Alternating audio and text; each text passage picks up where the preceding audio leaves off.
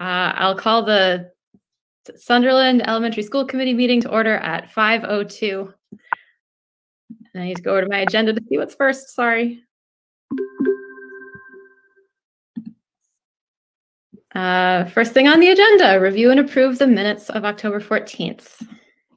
We have a motion. So moved. I'll second. Any discussion or amendments? Roll call vote, Jessica, yes, Peter, Yes. Maisie, Yes. Keith, Yes. Greg? I read his lips, he said yes. Approved five zero. Thank you. Uh, Shelley, can we have financial statement, please? Uh, Since last meeting, there were 10 warrants totaling $41,553.49 reviewed and signed electronically. Uh, I did send you the expense reports through November 30th. There are no concerns to report at this time as far as the general fund goes. Um, We do have some savings, so that's a positive news uh, from various accounts for a variety of reasons. Um, The primary thing to report on uh, at this time is the school lunch. I did give you a snapshot and a report that I sent out today. Sorry, I didn't get that to you yesterday, and I thank you for your patience. Um, we're currently looking at a year-to-date net income of a negative $6,646 in the school lunch program.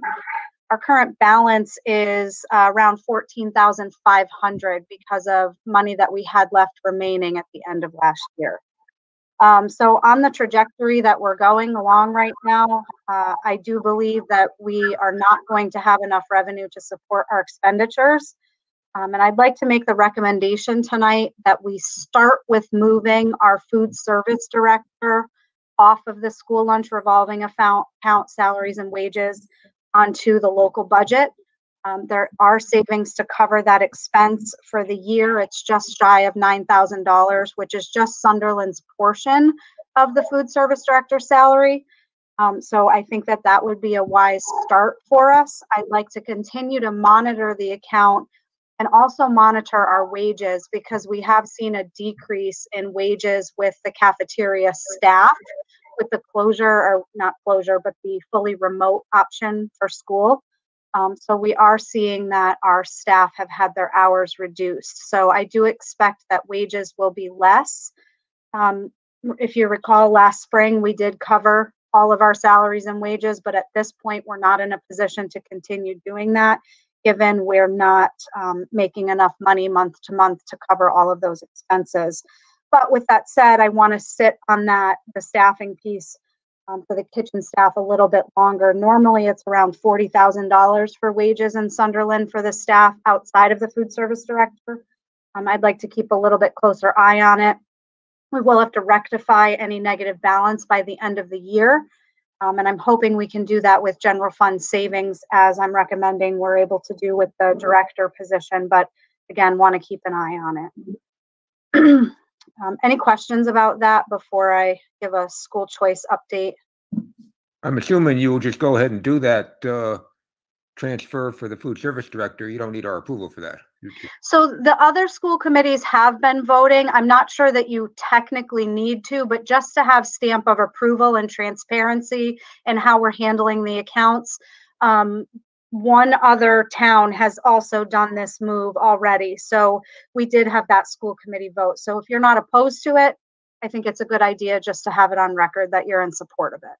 So can I make a motion that we, approve the, uh, uh, business director's, uh, proposal to move the food salary director's salary from the school lunch program to the general budget? I'll second. Any discussion? Should we can vote it now? Okay. Uh, Jessica, yes. Peter, Yes. Maisie, Yes. Keith, Yes. Greg. Thumbs up. Passes five zero. Great, thank you. I appreciate your support and backing behind that decision. Um, so the last piece was, we had talked about this last month. Uh, Peter had asked some questions about the school choice fund and enrollment in particular. Um, so Ben and uh, our special education director, Karen Ferrandino, and I did go ahead and look at those numbers. Um, enrollment is slightly lower in our October 1 enrollment than it was on the June 30th. Um, that doesn't mean that there, you know, won't be additional fluctuation throughout the year, um, which could be in our benefit if we have any students enroll mid-year. But right now, um, we're looking at, I think, around four students shy of what we were at the end of last fiscal year. And uh, one of those students does have some special education increment claiming funds that we were able to put in for last year. Um, so uh, right now, the anticipated reduction is around $35, $35,000 less than what we have budgeted in school choice. Um, so obviously that's an adjustment that will just come out at the end of the year. Um, it's not something that impacts any of our funding sources right now. It really is most impactful as we're planning for next year and future years for what school choice expenditures might be.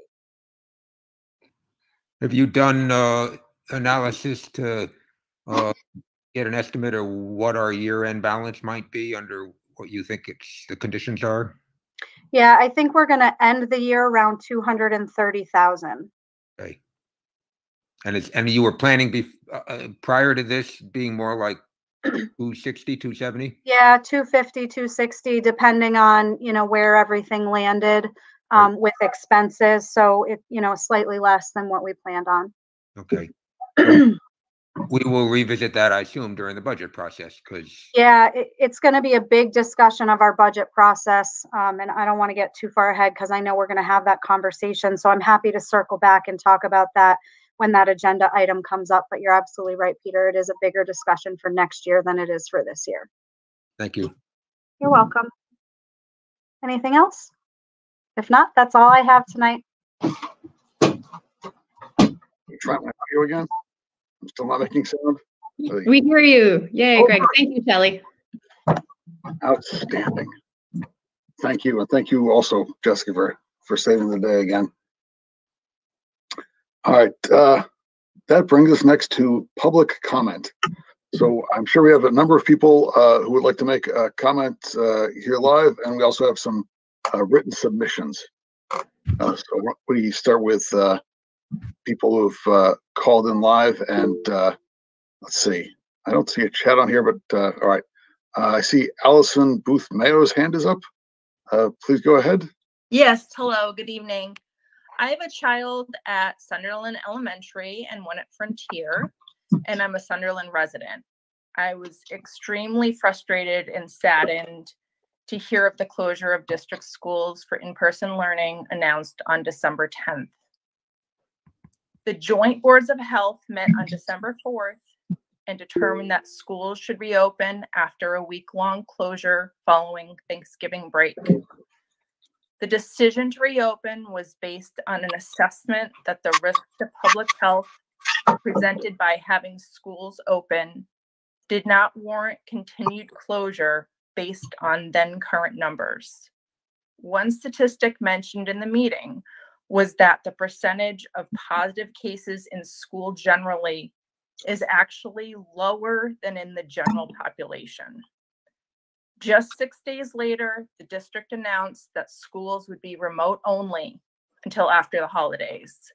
My understanding is that this decision was made based on a general increase in the positivity rate in Franklin County over the prior week and not on any school spread.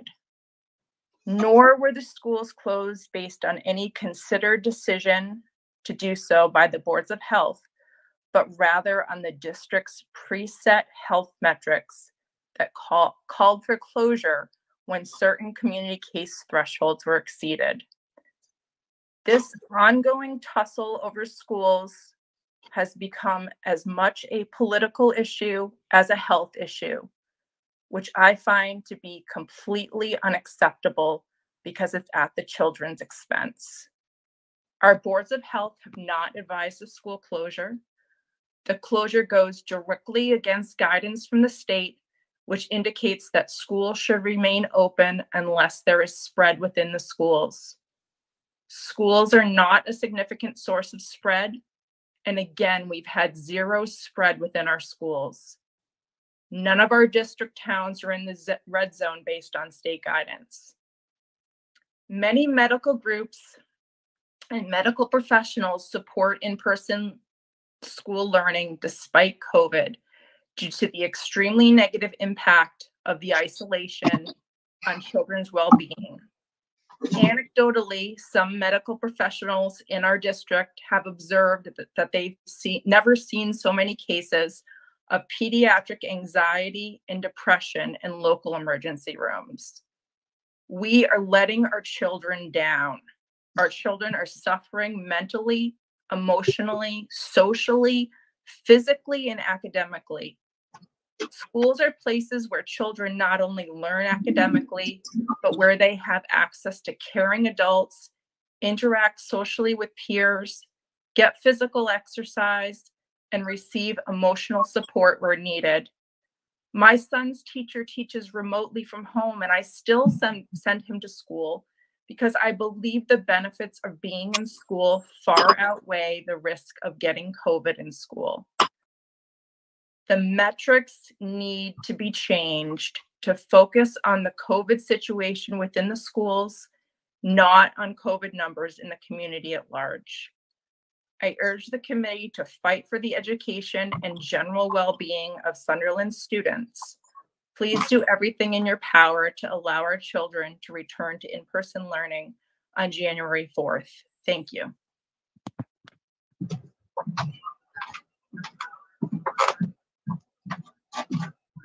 We can't hear you, Greg.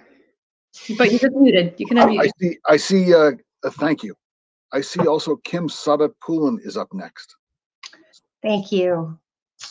Uh, I'm a special education teacher at Sunderland Elementary, and thank you for giving me the opportunity to be heard tonight.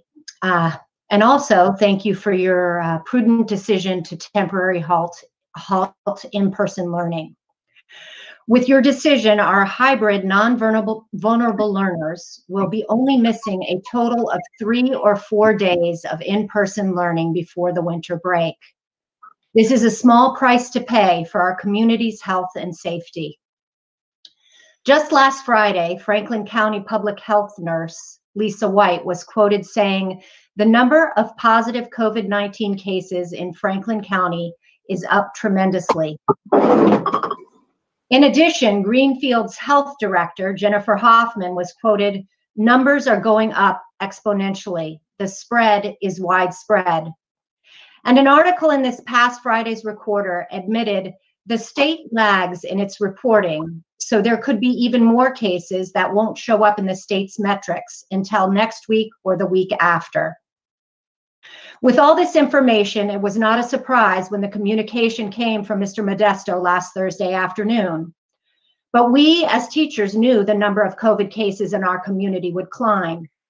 In the weeks leading up to Thanksgiving, our students shared with us their holiday plans, many of which included large gatherings of extended family and friends. We knew the numbers were going to rise. Every single one of us who works in the school wants nothing more than to be teaching our students in our classrooms face to face. This is the undeniable truth but not when the virus numbers and hospitalizations are climbing at exponential rates. Teachers and staff of Sunderland Elementary have proven our commitment to in person learning as our school building has been open to students since September 14th. Over a quarter of our students were identified at the beginning of the year by staff as vulnerable learners. This 29% of our school population attends the school in the building four days a week. This has been happening in Sunderland, even as many of as, as many of our neighboring school districts have been fully remote for this entire year. We were told on December 4th at the local Board of Health meeting that it is stressful for parents to have their children learning at home. We get that. Many of us are parents in the same boat. There is no doubt this pandemic is stressful, but it doesn't have to be incapacitating or, God forbid, deadly to our school community. We now hear there is a petition circulating to demand that staff go back in the buildings with students at this very precarious time. I want to let everyone know that great teaching and learning happened the week before Thanksgiving when all our students were remote and has continued this week. Staff and students have figured remote teaching and learning out, which brings me to my request. We are asking you to trust us. We are asking you to value our health and wellness. We are asking you to keep the building temporarily closed until January 19th, when the climbing numbers from what is proving to be a risky holiday season in our Happy Valley will level out. As the events of Thanksgiving brought about a spike of which we have yet to see the scope, so will the upcoming winter holidays. At the Board of Health meeting two Fridays ago, several of the speakers brought up the importance of data. The current data, which you listened to, is telling us it is indeed time to rethink and regroup until January 19th. For the majority of our students, that will be only four in-person schooling days following the December break. Not a big ask for the health of our community. While we reflect on the data, I would like to leave you with some data of a different kind. 47% of Sunderland staff have identified as medically vulnerable but did not request a remote assignment at the beginning of the year. 42% of us have a loved one who is medically vulnerable living in our homes. 43% of our students' guardians decided at the beginning of the year to keep those students safely at home remotely learning. That number has increased to 48% in the past few weeks. I think those numbers speak volumes if we listen. Thank you. Thank you. And uh, let's see, uh, Victoria Palmer is up next.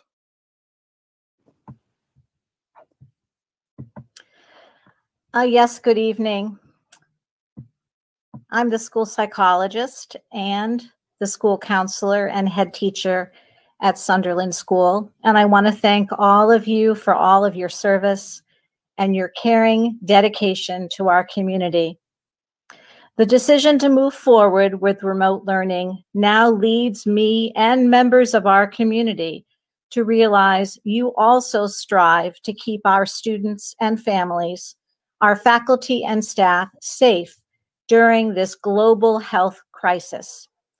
Please know we are all committed to serving our students, no matter the learning platform that is universally implemented. We care deeply about meeting student needs and each day skillfully and creatively address the needs of students because we are all committed professionals.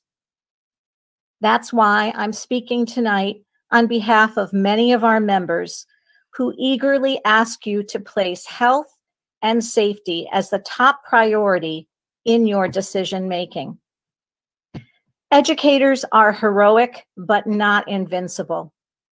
The virus and its inevitable spread is here, requiring us to respond thoughtfully and with an abundance of caution. Municipal buildings are closed in most of our surrounding towns, and many of our neighboring school districts are fully remote and have not reopened their schools, as with Union 38.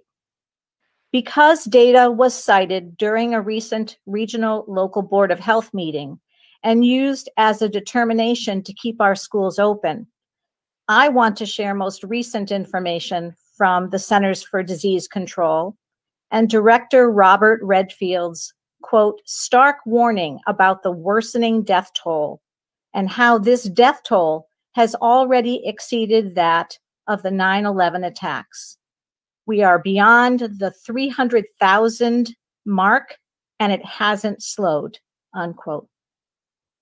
Dr. Redfield's statement sends a critical message that we must not ignore. A brutal stretch of illness is upon us now, and we must act accordingly. Basic hand washing, use of disinfectants, and PPE is one element. Now we know how very essential social distancing is to prevent the virus's spread. In response to the Sunderland Board of Health's chair's recent comments about schools not being a source of the virus spread, I'd like to comment how controlling the contagion within schools is a very real concern shared daily by educators. Even if children are generally less susceptible, when infection surges in the surrounding community, the risks in schools can and does dramatically increase. If we cannot control the spread in the larger community, then we absolutely cannot control the spread in schools.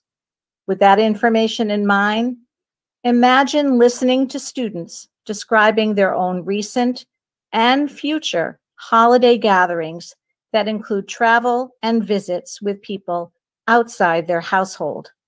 Despite repeated recommendation, it's happening in our community and we can't control it. I'm not an alarmist by nature, and I have personally participated in in-person instruction in the school building since the start of the school year to experience firsthand the challenges I'm describing to you tonight. I've been very successful with remote instruction that includes reaching and teaching our most vulnerable learners. And no matter the decision tonight, I will continue to provide a safe and supportive learning experience for all our students. When I'm in school, I have worn PPE and painstakingly practiced disinfecting procedures while working with students and families of all ages and stages. In classrooms, some students take off their masks to one, scratch and blow their noses, two, while sneezing, and three, while eating lunch and snacks with their masks off for up to a 45 minute period. Windows are wide open with heat pouring out of baseboards, and we are wearing coats, hats, and mittens inside the building. Would anyone feel comfortable doing that each and every day?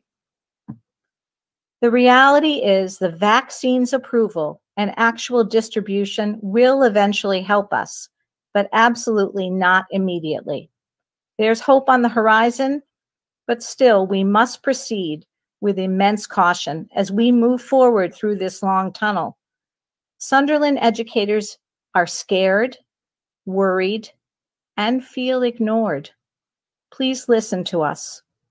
January 4th feels right around the corner and too soon to safely reopen buildings. Trust that we are all doing the best we can each and every day. Tonight, I ask you to consider the health and safety of everyone in our community by keeping our school community fully embracing remote learning until careful consideration of national, local, and regional health metrics indicate returning to school is safe for all students, faculty, and staff. At the very least, the temporary time frame of mid-January is a more realistic and cautious suggestion to consider reopening. Thank you for listening.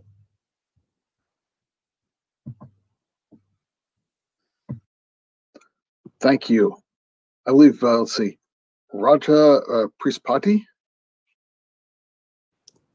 Good evening, everyone. My name is Radha Pisapati. I'm a grade 5 instructional assistant working in Sunderland Elementary School, as well as a mother of three children. My older one goes to Frontier Regional and younger one go to Sunderland Elementary School. Today, I'm here to share how well remote learning is working for me, both as an educator as well as a parent. First of all, I would like to take this opportunity to thank and appreciate all the committee members for considering remote learning during this tough time of the year, keeping our students, families, and community safe. Now, as a parent, I can see how hard my children teachers are working to meet their needs. They have created a structured remote learning platform. I would like to thank, uh, thank our admin teams, Mr. Barshevsky, Mr. Lenidas, Mr. Dredge, and Mr. Modesto for facilitating us with remote learning technology. And I see that my children are completely engaged. I understand the social interaction plays a major role in student lives. We all know that. But this is not the right time for social, in- social interaction given the risk of COVID 19, which is still out there. Now, as an educator, we love our students. I can see that um, as a teachers, you know, we are we are going above and beyond to meet their student needs. We have created a well-balanced learning environment where we are available in Google Meets during the school hours to help our students with their needs. We are using various creative tools provided by our administration team and various teaching uh, mm, mechanisms to keep our students engaged. At the same time, we are maintaining a balance, giving them enough screen time breaks. Mm, students are participating not only in academics, academic learning, but also in specials like PE, library, art, music, band, and strings, which is amazing. And this clearly shows that students are not missing the regular curriculum. Um, I do respect the fact that hybrid learning must be working well for some families, and I hope and wish um, we will be back in the building sometime soon. But uh, till such time, uh, we should continue to support our community for their health and safety. Thank you. Thank you. All right, uh, Aja Sarone? Hi. Um, first of all, the CPAC wanted to thank you guys for reaching out to us. Um, we really appreciate that you've taken our feedback and are interested in speaking with us tonight. We're really happy to be here. We also want to thank the district for providing in person learning to the highest needs students during this current period of remote learning. This has been a lifeline to families. We had a meeting last night and hearing how much it meant to the families that were able to keep going in person is just incredible. The transition between remote and in person learning is hard on everyone, but as we've spoken at many meetings, it's especially hard for special education families. We would like to share some systemic concerns for this committee to consider as we all move forward. There was really poor communication between the district and families regarding the Thanksgiving remote learning week. This communication has improved a lot with the most recent switch, but there's still some improvements that could be did. When the call went out last week, many special education families were not sure if their child would be in person or remote, and this caused a lot of stress for families. We've been in contact with CPACs across the state whose districts are using a tiered approach for communicating with families about special education students, and they've decided who will be in person at different times. In these districts, administrators can quickly email families to say all Tier 1 special education students are eligible for in person learning and can contact their liaisons to discuss their potential options. All Tier 2 and 3 special education students will be learning remotely at this time. This system seems to be working well and helping a lot of families through this uncertainty of having to go back and forth between the two models. We would like this, this district to also consider 504 plan students during this process. There are a lot of children who don't have an IEP, not because they're not high needs, but because of um, there's logistical issues with an IEP meeting and getting the whole evaluation done. And some families don't even know that that's available to them. For special education students who are working remotely, whether they're on an IEP or 504, we believe that compensatory services need to be widely available without an uphill battle that families are accustomed to in this district. There are going to be times that vulnerable children will miss out on what they should be getting due to the nature of this pandemic. Families will be much more understanding if they know that extra services will be readily available this summer to make up for what's being lost right now. Beyond the educational impact, we want to share the emotional toll on families. Disabled students rely on consistency, and the sudden shift left nearly all of them struggling emotionally and behaviorally after Thanksgiving. This stress impacts both students and families for weeks. Many are still experiencing it right now. Having clear communication from the district could reduce some of this stress for families. The CPAC is asking that the district improve their communication so that special education families would know what to expect when remote learning is implemented. We also ask that the district make a commitment to ensure that COVID compensatory services are readily available to ensure a more equitable experience for all special education students. We thank you for your time and your continued collaboration. Thank you. Thank you. All right, and I see that uh, Carrie McGrath also wishes to speak. Hi, um, my name is Carrie McGrath and I teach fourth grade at SES. Thank you for this opportunity to speak. Um, I'm relieved to be working remotely this week and next week, and I would like to encourage the school committee to keep us remote for two weeks following December break. Um, when the board, local boards of health decided to keep us remote for the week following Thanksgiving, it was my understanding that this was to allow the board's time to review the COVID 19 numbers that came out after the Thanksgiving holiday.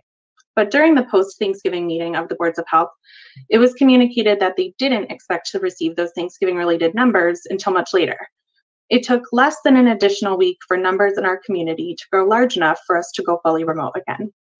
Our students and their families are likely to gather with family and friends over December break and maybe to travel. I think that we should learn from our Thanksgiving experience and stay remote for those first two weeks of January. Of course, we all eagerly look forward to the day when we can be safely back in school. However, the remote model has some significant advantages. Being remote allows us consistency and the ability to work one on one or in small groups. Um, it allows us to spend less time on hand washing and enforcing social distancing and more time on learning and relationships. Never before have I been able to dedicate so much of my teaching time to academics rather than addressing behavioral issues. Across the board, my students are progressing at an impressive pace. We have a solid routine and a consistent structure to our days. My students have strong relationships with each other and with me, and that has been uninhibited by the remote format. If anything, I find it easier to connect with my students on remote days, given the constraints on in-person learning this year. The vast majority of my students are able to work independently throughout the day, solving problems for themselves or getting help from me. I'm sure they find their parents to request snacks or lunch during breaks, but beyond that, they are occupied with meaningful learning activities from the start to the end of the school day. Every day, I am amazed by how hardworking and engaged my students are. I know some students struggle with the remote model, just as some students struggle when they are in person under normal circumstances. But for many of our students, the remote model is working extremely well. For all of these reasons, I strongly encourage this committee to consider keeping our school remote for two weeks following the December break and to reevaluate at that time. Thank you. All right, thank you. Um, let's see, and it looks as if there's a Jody Fraser. Fraser wishes to speak up. So, uh, it- my name is Victoria Palmer, and I've been asked to speak tonight on behalf of Jody, who uh, had an incident that uh, interfered with her being here in person. So she has prepared a statement and sent it to me, and I'd like to read this statement on behalf of Jody. Thank you for the opportunity to speak tonight. I want to start by saying thank you for doing the safe thing and having schools go fully remote through the holiday break. I appreciate you putting the health and safety of our students and staff first. With that being said, I am asking that you keep school fully remote until at least January 19th. This would allow us to know if there will be another spike in cases due to the holiday season. Thank you for your service to our community. Outstanding. All right. Um, so we have a few written submissions. Uh, and I, I think, uh, in the future, I'll probably, we'll have to hand some of these out if we get more. Um, but, uh, why don't I just read them if I may? Uh, we have one from, uh, an Amanda who didn't leave a last name. Hello, Donna. I wanted to express my honest and humble concern we have had as a mother of two students with different needs, both attending Sunderland Elementary School. One of my girls is three uh, years old with ASD, and my other daughter, 12 years old, with ADHD. We chose remote learning for both children this year uh, for a variety of mostly obvious reasons. Uh, the transition in September for my 12 year old was unbelievably difficult. One uh, Chromebook was dropping signal in the middle of most classes, making it impossible to attend. Two, no daily or weekly schedule. Uh, when Chromebook dropped uh, her to know where to go next. Three, she cried most days with frustration of not being able to do the work or uh, the inability uh, to attend long enough to do the work. And four, the process uh, and lack of school support made us choose to homeschool her this academic school year. My three year old's transition with uh, ASDS was a nightmare. We are still trying to fine tune our plan. In short, one, had a meeting in August about her remote plan. None of what we discussed uh, was added. Two, finally received a learning plan, uh, 10 620 draft only. Three, no learning devices to access services until end of October. Four, the Google Classrooms are only updated weekly. There are no daily activities. Five, accessibility to the classrooms are inconsistent. Six, our Google Calendar has been uh, empty since the beginning of the year. Seven, uh, finally starting to receive services. Eight, uh, we had to use outside services because the school has not provided them. Uh, we would have loved more continuity and stability with the school's uh, systems plans for this academic school year. I believe that the school systems had the ability to have a stronger plan to empower children and their families to transition into a more permanent and concrete plan more fluently. Thank you for your time and including uh, special education student in your meeting. Sincerely, Amanda. All right. We have a, uh, a submission from Hillary uh, Sloutsky. Um, Dear school committee members, thank you in advance for your time and consideration of this request. I ask that the school committee consider keeping open the internet cafe program. Even if Sunderland Elementary uh, otherwise has to be fully remote, the internet cafe at the school building has been providing four days of in-person supervised and additional support for vulnerable learners and those who, for a variety of reasons, are unable to progress adequately at home. The consequences of moving to fully remote systems are much more negative for this subset of students. Sincerely, uh, Hillary Slutsky, parent of two SES students. And finally, uh, Sarah Colsey. Um, first, I would like to thank you for listening to my comments and for your continued support of our schools and community. When schools went back to remote Thursday, it was a massive blow to a lot of us parents, and in particular, our children. Many of us feel this is not the right thing to do, we cannot support remote learning anymore. Our children are uh, hurting big time. Day in, day out, we're watching our children struggling with technology issues, lack of peer interaction, a need for uh, in person teachers and structure. I know many children who spend days crying because they just uh, don't want to be on a computer anymore. My sixth grader needs constant supervision to stay in his seat and keep on task. Kids are frustrated, teachers are frustrated, and parents are as well. Thursday afternoon, I heard from a lot of my friends, fellow parents, and community members about how they don't know uh, what to do anymore. Some of them are on the verge of losing their jobs. Single parents, in particular, can't keep taking time off from work. They have no vacation time and no sick time left. Very shortly, unemployment benefits are going to run out for a lot of people. And sadly, that is their only source of income right now. Some were trying to go back to work while their children were in school. I know that people have uh, caught the virus in our school community, and I know this is a scary virus to people, but we can't live in a constant what if state of fear. Uh, we've shown the schools are safe with no transmission in the schools. Our children were doing everything they were told to do, and it was uh, working. DES has said to go back uh, four days a week. On uh, Friday, I posted a petition asking parents, students, and community members to sign if they felt their children should go back to school. This petition was posted uh, in three Facebook groups and linked directly to our schools and community. Within an hour, 50 people had signed over the weekend. It went up to over 210 signatures uh, in just three days. And she provides a link. Uh, as was said in the Board of Health meeting last week, uh, there's a large uptick in children being hospitalized for mental health issues. Multiple physicians and news outlets have written articles about how dangerous it's getting and how we need to be worried uh, about uh, not just how, uh, not just now, but the future. What are the long term issues our children will face with being secluded, lack of social interaction, loss of learning, and the constant fear they're witnessing and living with? Parents and community members, uh, mental health is also suffering. Uh, we are taking on roles that we are not prepared for. We are juggling, uh, helping multiple children in multiple grade schools, in our homes, and at the same time with school. We are worried about financial concerns, job loss, and of course, health concerns, not just COVID related.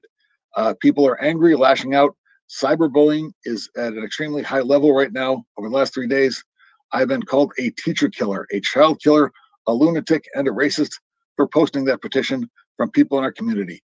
These uh, hateful and disgusting comments are coming from adults. When our children are, are in school, they are learning more, they are socializing more, and they're engaging more. They are not forced uh, on a computer screen for seven hours a day. And most importantly, they are happy. My family and those that have signed the petition have asked the hybrid model uh, be reinstated immediately. We are fearful, fearful for our children, their futures, our community, if we just keep it shut down. Thank you for your time. All my best, Sarah Closey, parent of a Frontier and DES student. All right. And I think that concludes the public comment.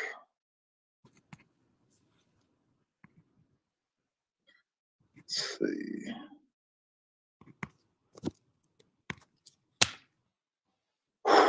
All right. Um, we have we have unfinished business, and uh, the next item on the agenda is the anti-racism and equity committee update.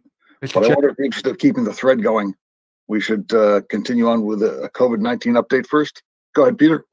I, I just, I just want to say thank you for the people that took the time to come and comment here or send stuff in. Um, obviously, there are mixed feelings on all of this and very strong held feelings. Also, um, you know, all I can say is that from my own perspective, uh, I've said before, I feel all this is very, it tears at me in terms of what we're deciding. Uh, my own personal theory is you do the best you ta- the best you can every day. Every time you're forced to make a decision you do the best you can and you move on. You don't forget what happened. You look back always at what happened in terms of what you can learn from it but you move on because you can only affect what you're going to do in the future.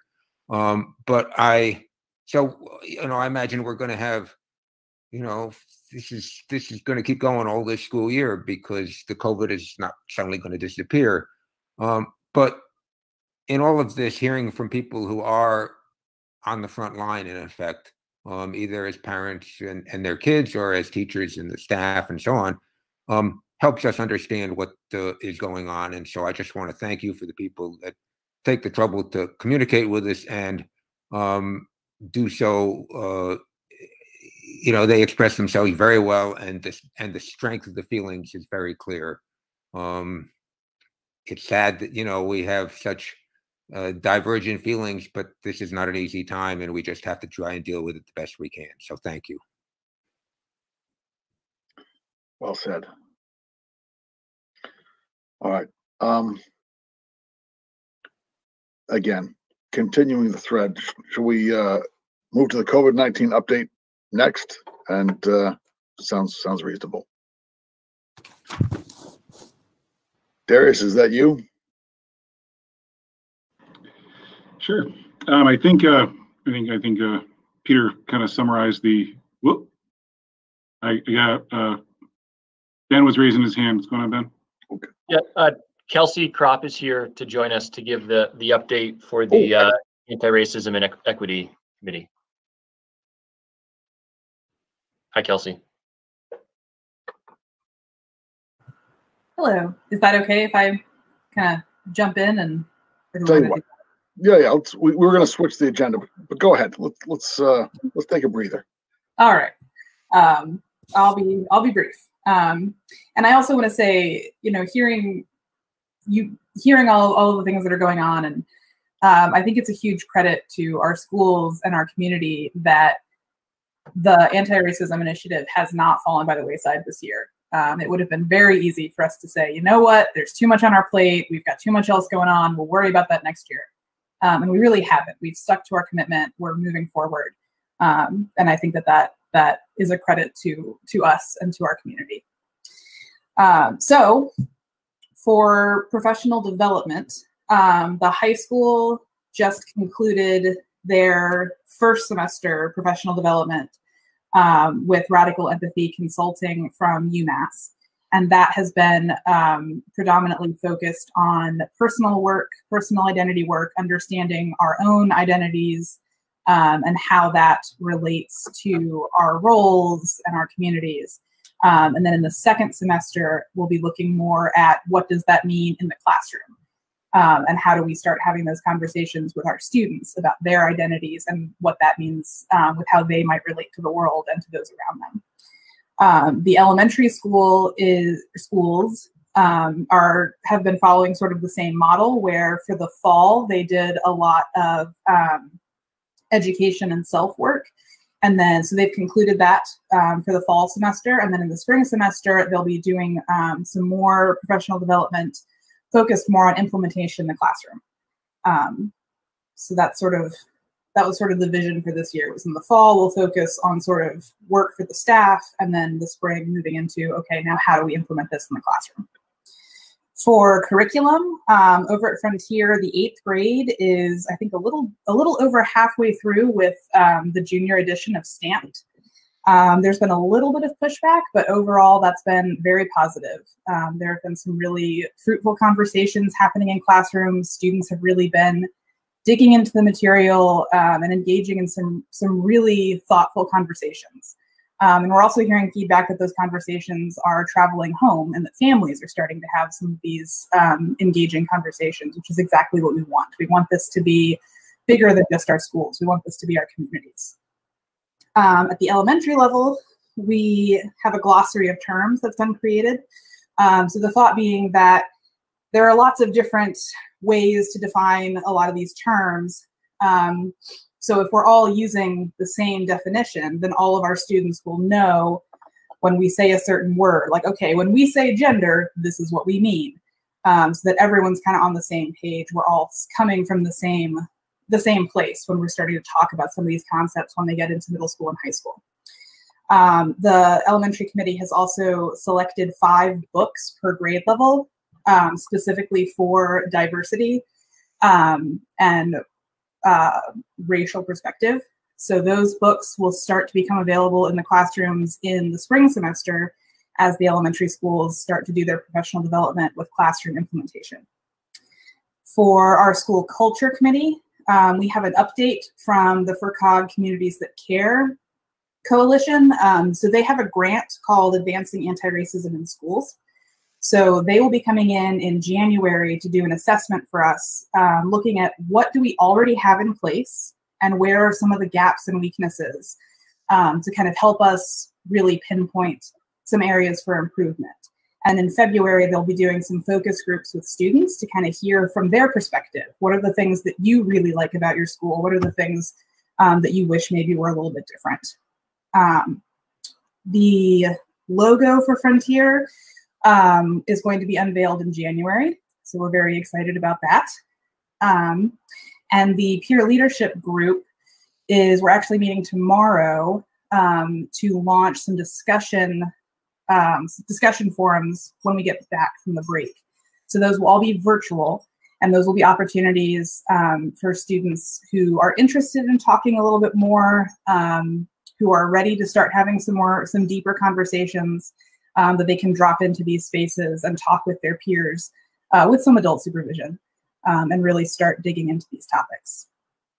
For the school policy subcommittee, um, they have been working on recommendations for revisions to the student handbook. And at this point, they've identified some sections that they'd actually like some student input on, um, wanting these documents to really be living documents that the students are involved with instead of kind of, you know, these things that are just kind of hanging out that no one ever looks at. Um, and they'll also be sending out a staff survey to check for understanding about how we deal with um, incidences of hate speech so that we're all on the same page and we can kind of we can identify if there are any gray areas and make sure that we're all um, clear on what that protocol is. Um, and I'm happy to take questions if anybody has any. Anyone?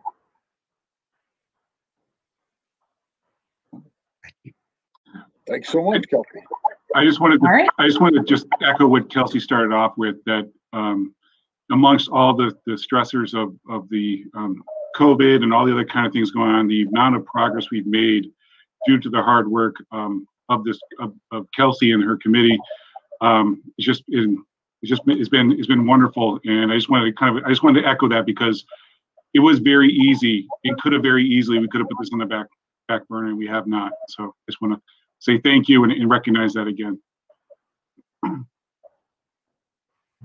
Absolutely. Yeah, that- goes uh, across the board and- even for the whole school improvement plan, which we're, we're going to get to shortly. Um, all right. So we had started briefly down the road of a COVID-19 update. Um, Greg, just, I, I, not just, to- I know you guys, um, I want to make sure we do this properly. There are two names on the list that Donna sent me for public comment, and I believe, I don't know if the gentleman is still here, but there was a John, um, hang on, the name list I had, a John Bagdon and a Melissa Bergeron were two other names that were on the list. I think John was sitting there, and I want to make sure that we make sure that everybody who signed up gets, gets, uh, called on. Um, then I can do my jump in, but I I- got a, I got a text saying we missed I somebody. think, I think he may have stepped off and, uh, oh, no, there he is. By all means, if we missed, uh, so, so John, please go ahead.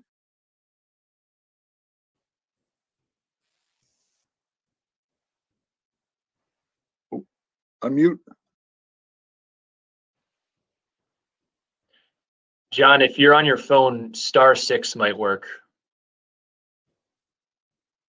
Or it might boot you off, I'm not sure. How about that? That work? All right. I'm Jonathan Bagdon. I have a kindergartner, and if you, as any of you know, it's pretty hard to hold a six-year-old, any any regular six-year-old. But the problem I have with the remote is, it's just you know, it's it's it's tough on us, you know, to have uh, a child who likes gaming on a computer and likes playing, you know, playing games and talking to family and stuff like that. But as soon as the teacher comes on there, and as soon as you have a little bit of uh, little bit of work to do, yeah, that that that completely goes out the window. So with the fact that there's only a few special needs, you know, for the one-on-ones, stuff like my kid, it seems like uh, with the with the fact that we haven't really had many cases or any any close to the uh, closely related to the school. If any of our if if the board of health we could get the green light to have our little guys you know the special needs kid that that, that come on leaps and bounds with in person and completely just you know completely uh wrong word i'm looking for but they they uh, the online learning just does not work for them. And that's that's pretty much all i had to say. I i didn't know everybody's going to be uh, uh wri- written up three page uh, prepared reports here so. No, appreciate, appreciate the variety of, uh, of perspectives. yeah. But that's all i had you know so some some of our kids you know they respond well to the teachers and the teachers are are family friends. They're you know they they learn well from in person. And you know like my my older two i'll give you for, for a prime example my older two they're doing completely fine. Even when i went to the pediatricians i'm kind of uh, aggravated about they tried to push and say do you have they, they actually asked them and says they wanted to try and get them to say that they had anxiety from in-person learning. And i wasn't there for that. And coming from a i should i shouldn't say it because it's going to call him out but coming from an 11 year old i didn't appreciate that at all. So it's just you know things like that that uh, just i just I, I can't handle. But with the special needs little guys you know some some of them you know from from a parent's perspective they're doing very very well at school and are completely horrible on the computer but that's all i had. Thank you. Darius, Thank you. what was the second name? Uh, Melissa Bergeron? Do we have a Melissa Bergeron? Um, Melissa's asked me to speak up on her behalf. Apparently, she sent in some um, written comments to you. Um, if you don't have them accessible, she's just now sent them to me and I could read them. Please do. Okay, just one moment. Let me bring that up. Are you able to hear me? Yes. Yes. Okay, great. Uh, she says, Good afternoon. I wanted to take a moment to send this comment to the school committee concerning discussions on what school will look like for our children after the holiday break. I need to express my opinion that children need to be back in school full time. My son was fortunate enough to be able to attend four full days a week starting in October because he was a kindergarten student. I cannot express enough how much this opportunity improved his experience with school and with his peers. Why have they, they been able to return and not older children? A recent survey in the middle and high school highlighted how not being in school is affecting our children emotionally. This is honest feedback from teens. I cannot imagine how our younger students are dealing with this isolation. When my middle school age child is able to int- attend in person learning twice a week, her whole attitude changes. She is so happy and excited for a small bit of normalcy and to learn in an environment that is much more comfortable than the online environment. Remote learning is also affecting our community on a socioeconomic level. Some children's parents are forced to work and cannot afford to send their children to costly daycare in situations where remote learning can be supervised. There is an opportunity for them to fall behind, and that is not fair. I know we are scared, but science is showing us that children do not spread the virus at the rates adults do. We are also lucky to live in less populated areas and have smaller class sizes and can accommodate social distancing. I've seen this model work for kindergartners. If five year olds can safely wear masks, social distance, and wash hands, so can other elementary students. I think it is important for our children to have a chance to attend school.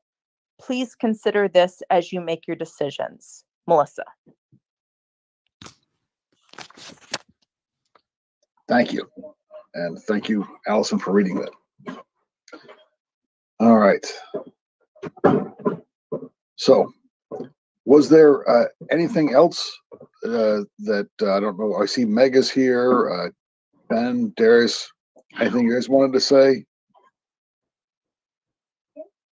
I'm, well, I mean, I can talk about like next steps where we're kind of going from here is, I, I would, would, would be the assumption. I think the, uh, I do think public, the public comment gave a, I think a pretty, I would say almost balanced summary of where we're at. You know, we're, we're between two different kind of viewpoints in our community. Um, and, um, you know, obviously, you know, it's a, it's a difficult, I'm kind of saying it this way, but this is me after days and days of stress of each, each and every email I read. And, um, even last week as we went through the process of uh, going to remote.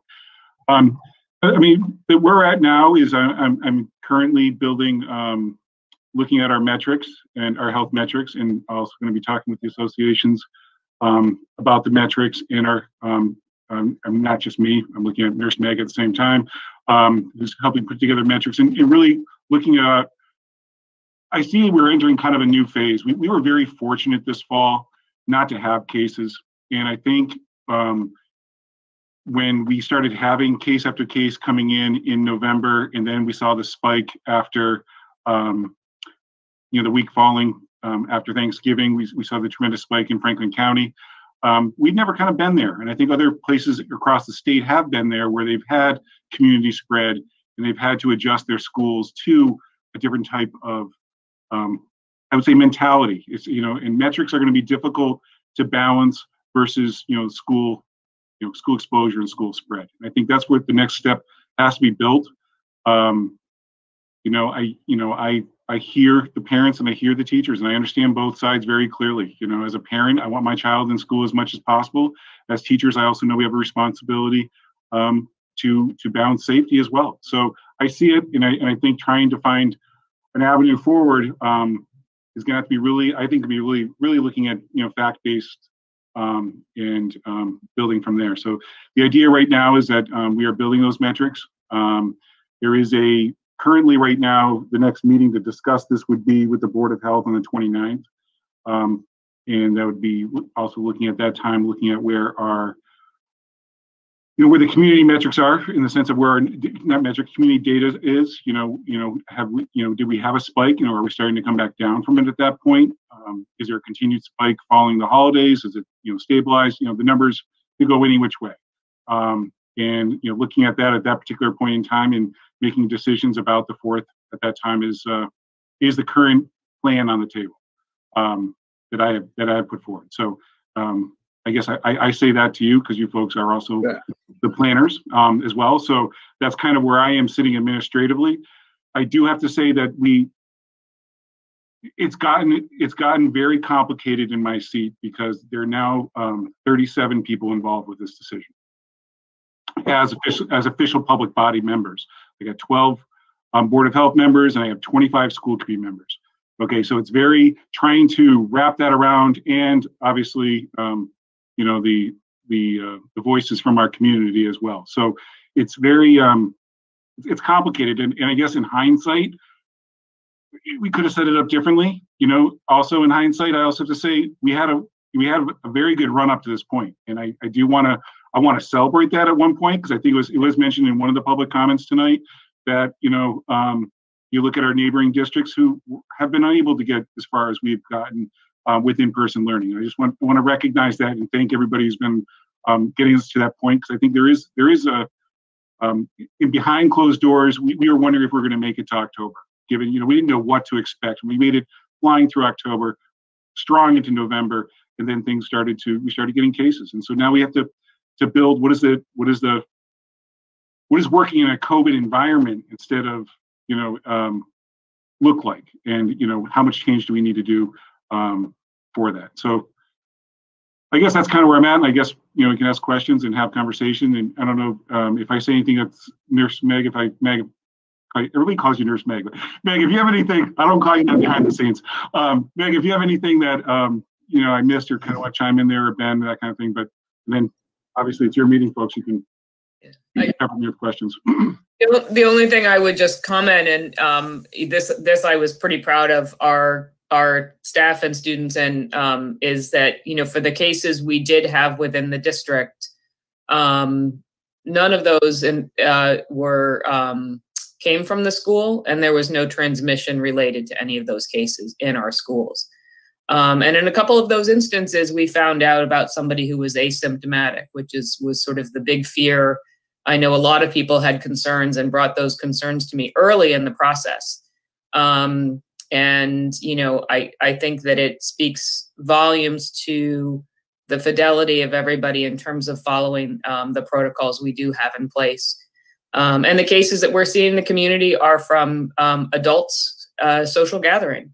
Um, and and to some degree workplace exposures um, but the biggest really is um, people not following the the the state recommended precautions. So um, anyway, I just I I'm gonna go back to the positive, which was that um that in all the contact tracing I did, and I I did talk um in great length with all of the public health nurses involved, um, and you know to be certain and do the reverse uh, to to identify where somebody had had become infected, and it had nothing to do with our schools.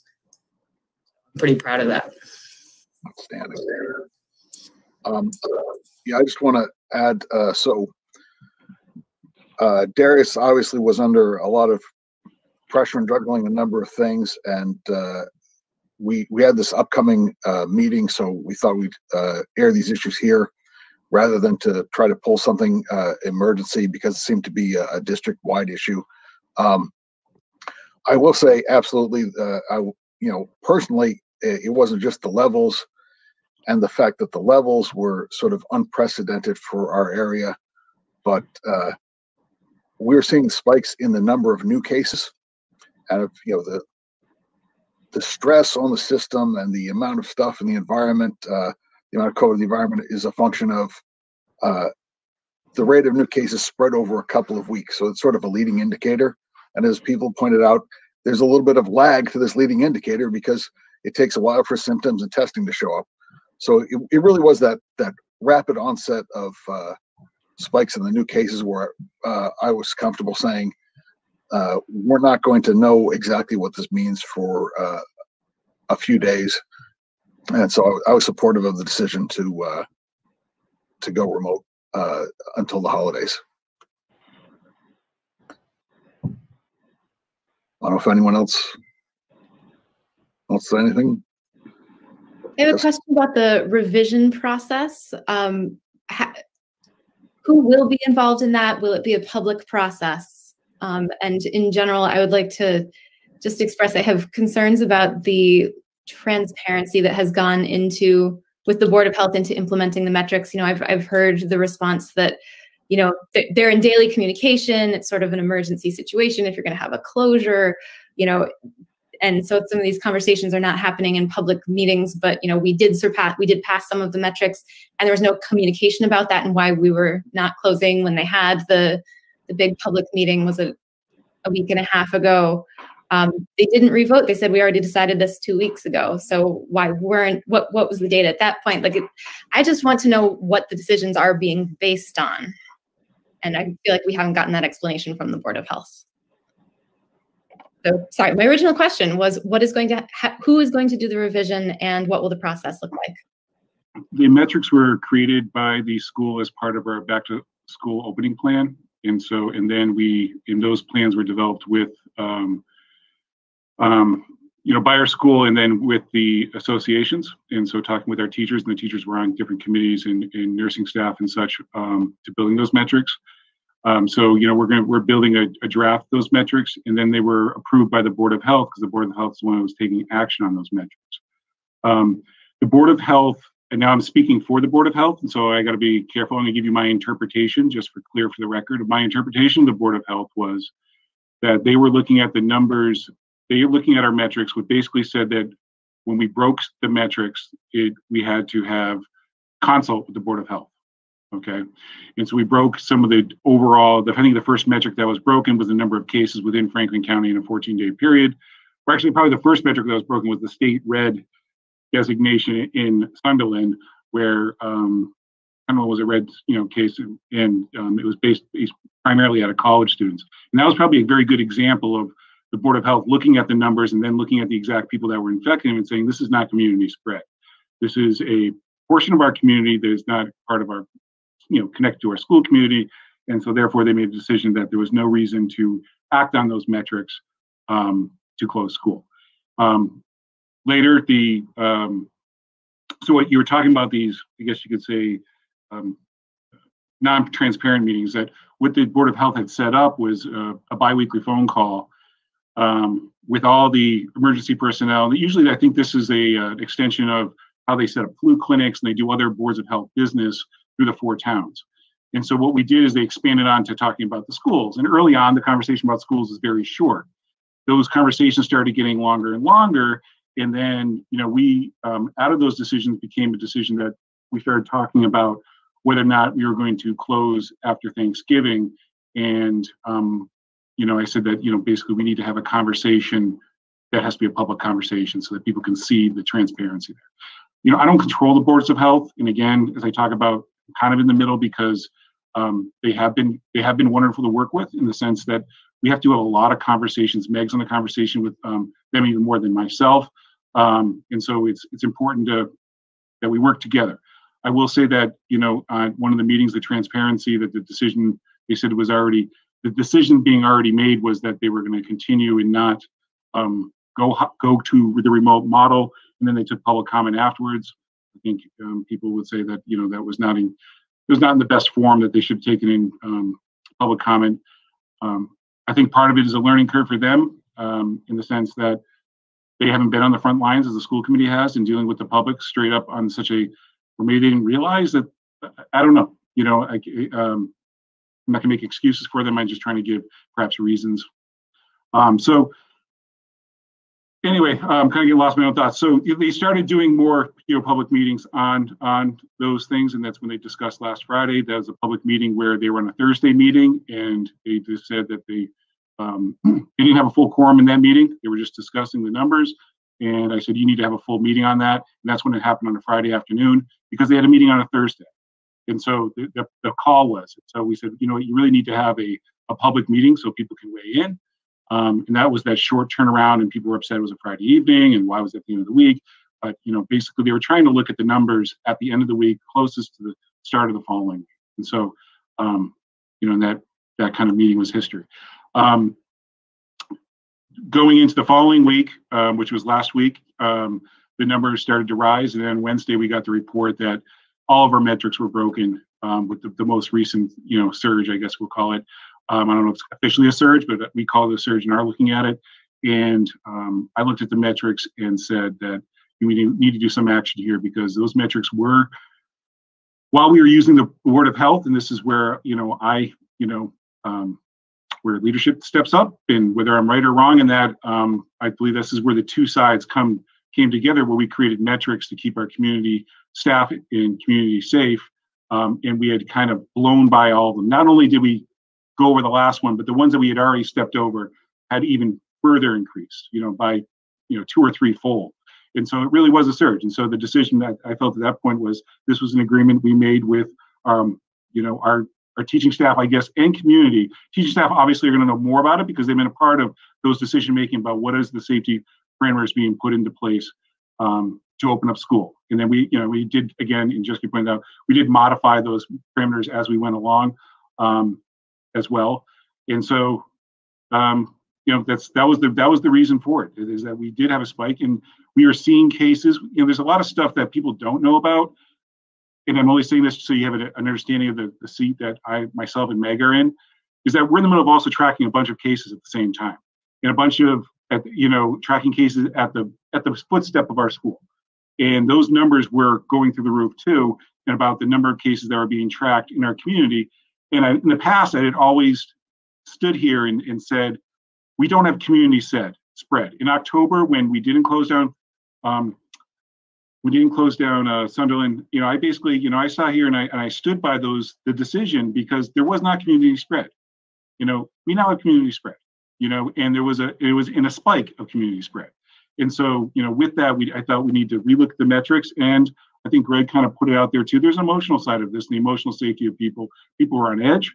Um, and um, it was kind of felt, in my perspective, um, things became unraveled. Um, you know, that we were, you know, and so whether or not we looked the you know where I was, and I guess, and I received some flack for this, that perhaps we could have you know again looked at the numbers the following week. That would have been a data-driven decision. Um, the start and stop. You know, now that we're gonna have snow in the middle of next the end of this week, I guess it would have been kind of maybe a moot point. But you know, um, I guess I struggle with that one. I also apologize that people did say, you know, you let us know on Friday in the afternoon. I mean, these are the emails I'm getting, and so I want people to hear that I'm hearing them, and I take them to heart. Probably a little bit too much to my heart. Um, that that you know you gave us less than 24 hour notice to go remote you know we, we seen our family lives upside down but um, in essence i made that decision because um, either we're at a health emergency or we're not. You know either the spike is out of control or it's not going another day um, where if we had a major outbreak because of a friday of being in because you know that's where my mindset was um, in that being the case. And so and i did not make it in isolation. I called all chairs. I called all the boards of health. I talked with you know i talked with i talked with everybody I mean, it was a long, multiple times. Some people even multiple times. So, um, you know, this is the, you know, this is how we ended up where we're at. Um, but we were based off those metrics um, there. So the question was, what are the metrics changing moving forward? So, um, you know, uh, and I have meetings, um, meeting tomorrow to go through the metrics with teaching staff, with the union rather, and to take a first look at what they what the current ones are. We have some proposed new ones. We also have to metrics i think meg you kind of done a better job of talking about this so i'm going to give you a second to think about it. Um, but you know meg and i had a conversation today metrics are tough. Like which number data are you looking at? What does it mean? You know when you look at percent i'll give an example like you know you look at percent positive which was one of the numbers that last numbers that was broken in franklin county it doubled in one week's time. You know why did it double? You know, we received information afterwards that possibly that doubling could have happened because deerfield academy and Eaglebrook stopped testing they were doing you know hundreds of tests at those those institutions. Mm-hmm. Um, that could have had a hand in it. There was clearly an uprise in cases as well. But then when you look at town numbers, if you look at town percentage, Whately was over five percent, but they only have they have less than five cases. You know what I mean? So it, it doesn't it, it, the stats don't work on some particular numbers to something. So finding metrics that make sense. Um, we've learned a lot. I think, as well. And we've learned a lot as we even as we updated them. Um, I think we just weren't ready for the the, massive uptick all at once um, with those metrics. You know, um, for me, we were. That's what those metrics were for. You know, they were the indicator that said, "Hey, um, you know, slow down here." So, Meg, I, I'm starting to ramble. Well, I just, you know, I was thinking that, you know, we've we've talked at different times about um, about context of the data, and you know, one of one of the challenges of, you know, you you you look at statewide or county level data, and it doesn't necessarily reflect what's happening in our schools. Um, one of the days when there was very high cases last week, there was a, a large number of those cases, over half were related to a congregate setting. Um, we couldn't know that the day that data came out um, that didn't that didn't directly impact our school and so i think one of the things that we're really trying to tease out is how do we use the data that are available um, how do we put it in in the context of what do we know about what's in our school? What do we know in terms of what's happening in the community? Um, what can we do what can we look to in terms of risk assessment and the epidemiology um, of covid um, and covid transmission?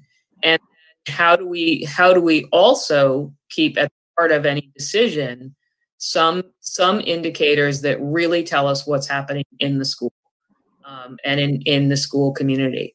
Um, numbers are going to go up in in the communities and um, a, when you when you look at the daily dashboard the majority of the cases for weeks and weeks have now been in the the 20 to 29 year old age group um, as the most cases um, there are certainly plenty of other cases in other age groups, including young age groups, but the data are showing that kids aren't bringing the, the COVID into the house.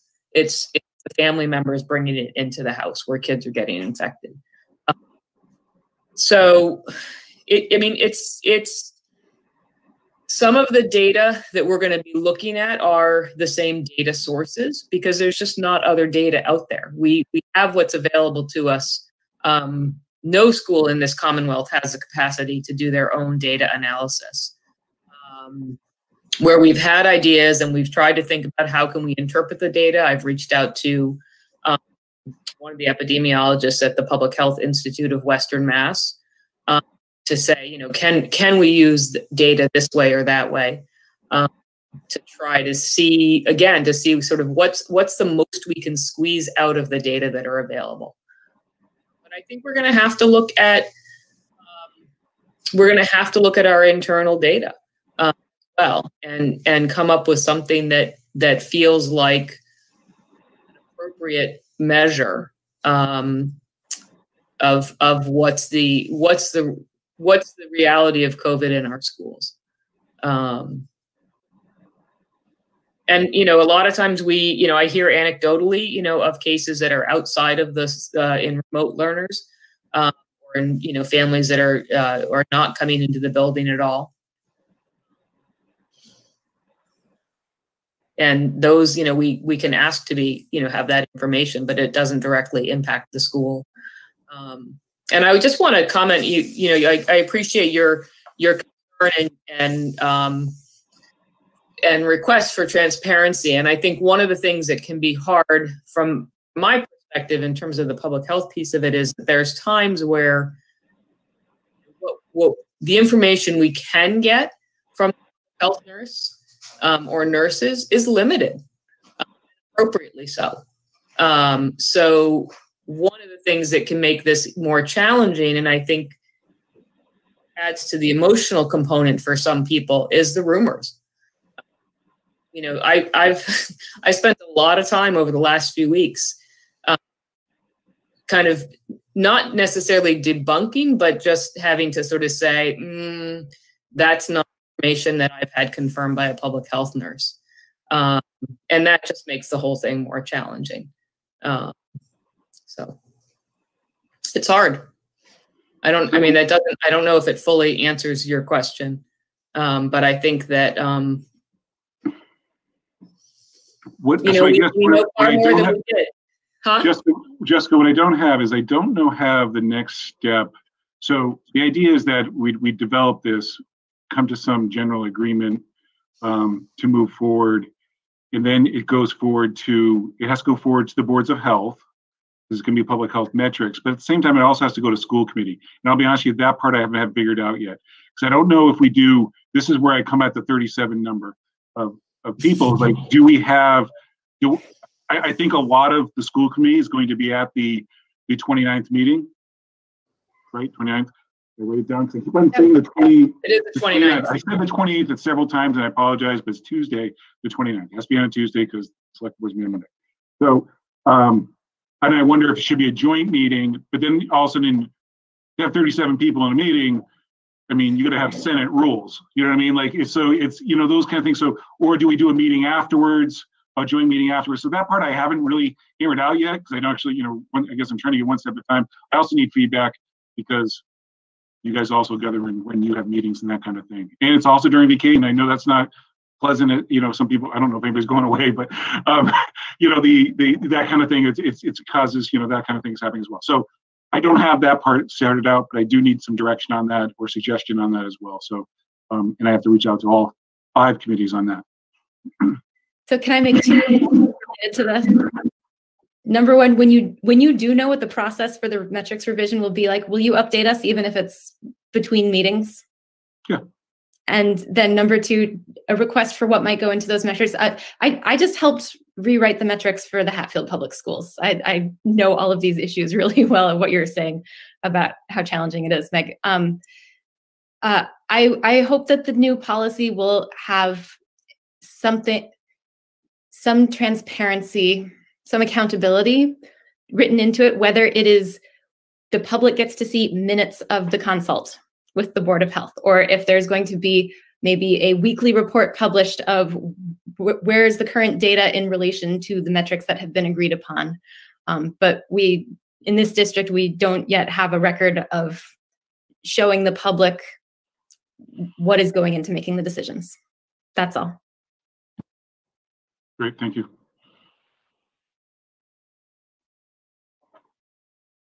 Anyone else? Peter?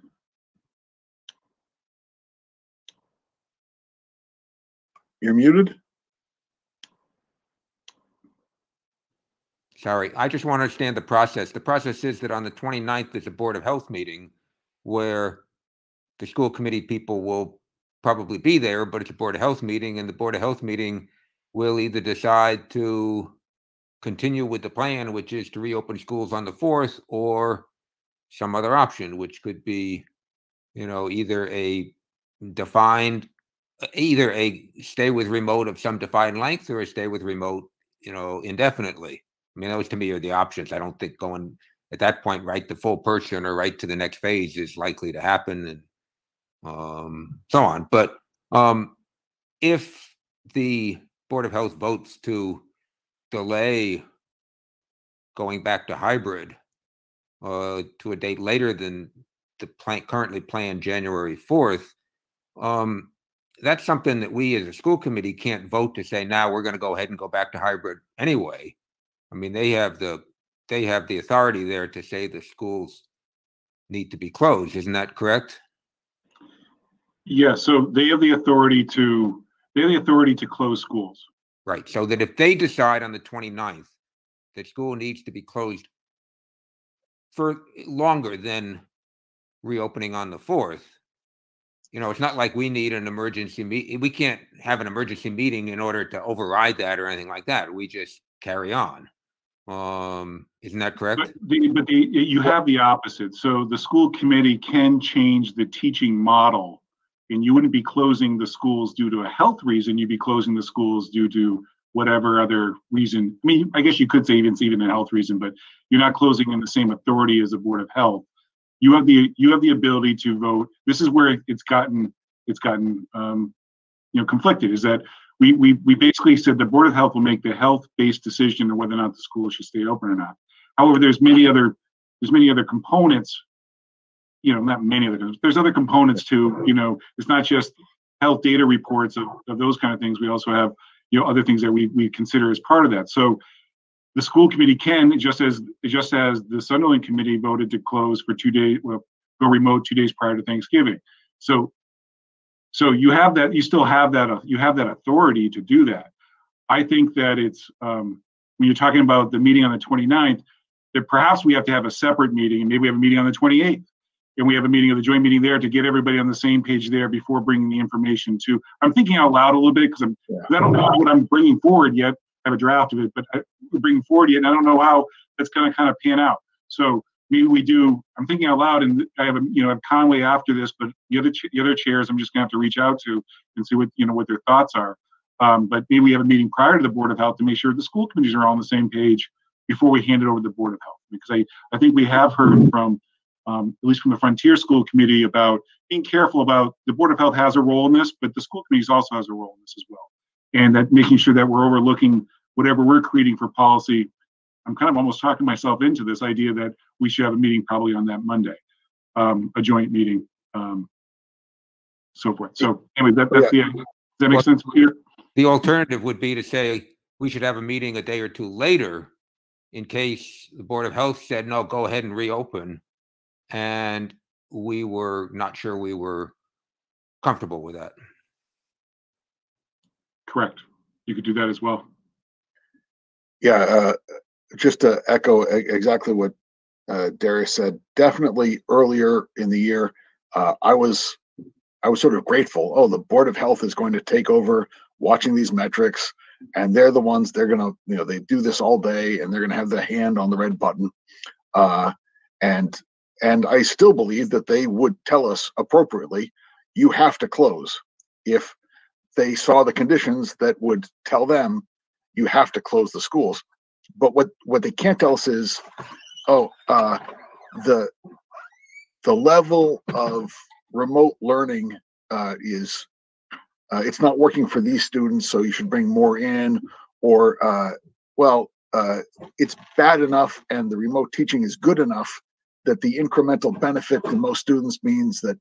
So, I'm sort of rewrapping uh, my head around the idea that school committee has a role and yes the, the board of health may step in and say you have to walk away but it's it's on us to balance and that's why i was also uh, as people have said very grateful to hear from the community uh, to try to understand what services can we keep open you know what, what are the, the key priorities things like the internet cafe you know the, the things that we, we may want to close last or how do we support our most vulnerable vulnerable students as well as possible while at the same time uh, caring for the staff and making sure that uh, that we're addressing the health needs appropriately.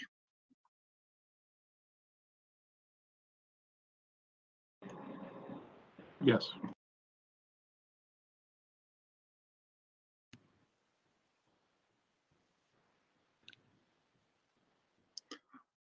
So I guess in summary, I'll be reaching out about posting a meeting and such. Uh, Greg, I guess, um, I- guess for also feedback, uh, school committee members and member regarding planning a meeting, you can have plenty of emails back and forth about planning meetings. So you can give Greg any thoughts on that. Greg, I- think probably, I probably, you know, I, I need to set some direction. I'm gonna set a meeting of the chairs, um, just to get together to decide when you want to have a meeting? Um, or maybe we can do it by email, but just to, uh, to set up when it will be available, and if everybody agrees with that process. Um, I think that, that, that probably seems a prudent, because people need to know going into this, you know, being these are the only two school committee meetings this week, people need to know what the process is gonna be moving, um, towards over the break, so. Sound good? Sounds good. All right. Um, let's see.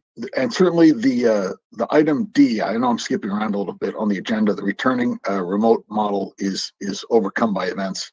Uh, but there was some content maybe planned to talk about uh, phase three and what that could look like. I don't know if we want to go into that now at all.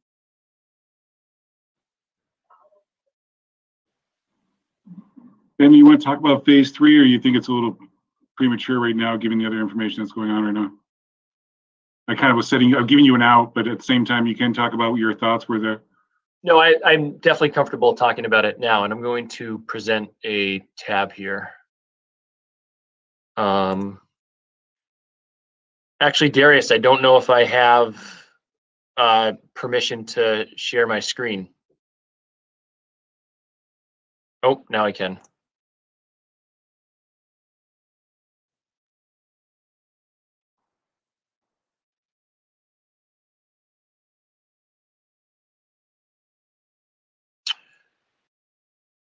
Okay, so uh, before I get started with a brief slide presentation, um, I do want to thank our families and the SES teaching staff. Uh, first, our families have done an incredible job supporting our school throughout this entire ordeal.